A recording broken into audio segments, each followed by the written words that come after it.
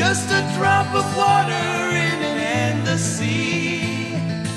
All we do crumbles to the ground, though we.